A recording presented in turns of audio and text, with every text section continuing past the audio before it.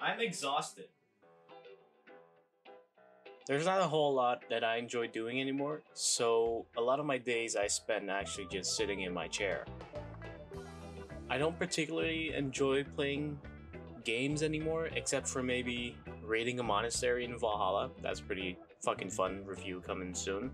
but it's not just games, you know. Um, for example, when I sit down at my piano, I'm reminded of how I still have an unfinished piece to study and how I've been skipping on piano classes.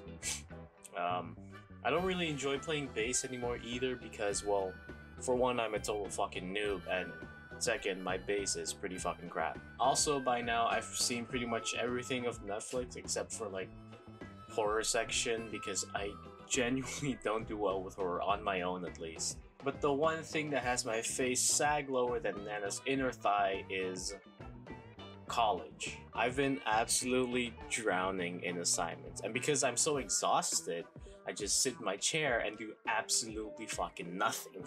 Been crossing deadlines left and right. My Microsoft Teams has been blowing up, and I've handed in absolutely zero assignments this past week. Oh, and one final thing that made me very exhausted this week was uh, I pretty much got stomped on again, but that's a story for another time. Leave a like if you enjoyed the video, let me know in the comments if you like this kind of video where I just kind of talk and kind of reenact what happens or what is going through my head at that moment, and I'll see you guys in the next video.